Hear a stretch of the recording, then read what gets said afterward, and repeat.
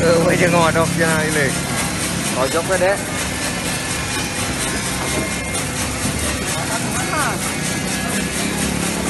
Banyak kita kak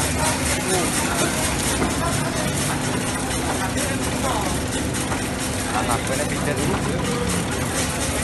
Busuk Busuk